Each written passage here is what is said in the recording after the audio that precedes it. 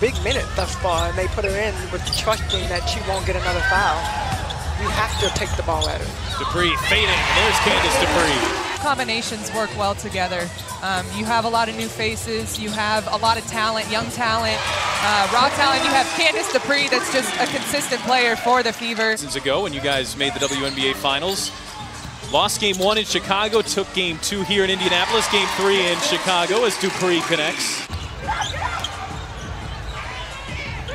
Dupree from the baseline. They need her to get going. Dupree now has eight. Candice Dupree at 4 of 11 from the floor, seven rebounds and an assist. Next week, Indiana looking to start on the right foot here. Dupree over Williams gets the roll. And you can feel it right now. You can feel Dupree matchup. Tiffany Mitchell and Diamond DeShields, both of them can pretty much do the same thing.